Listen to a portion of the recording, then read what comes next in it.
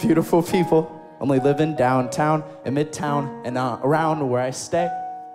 Is it their brain that really matters, or the character that flatters, or dependent on their beautiful face? But if you're beautiful from birth, do you really have the courage of a woman picked on for ever since she was a kid?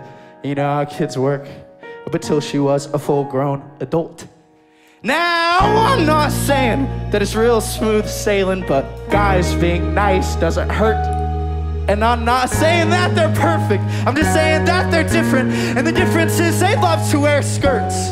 Sex in the city probably feels really, really nice with hands placed on faces and twinkles in their eyes. Sex in the city, it probably looks really, really great with a girl that's like a 10 and a guy that's got an A. Sex in the city sounds like it takes on stage. Rose Bodie in Key Marvin Gaye sings Sex in the City. Candles smell like Ray Jaws are promising. Queers, my candles smell like fear. My roommates may hear I have really bad back knee. One time I was dating a girl, she said, Frank, go to the doctor. So I went to the doctor, and now it's spread to my shoulders. If I'm not, sorry. Sometimes I fuck that part up where I look at someone in the eye and they're just like, and that just happens. sorry to make you feel weird. So, I'm not a baby maker looker, but maybe I am to a woman who really loves me for who I am, or maybe who I'm not.